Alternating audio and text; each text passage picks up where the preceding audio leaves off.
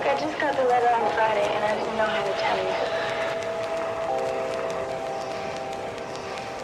I'm really happy for you.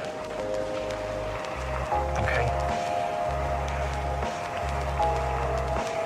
Okay. Let's go have some fun.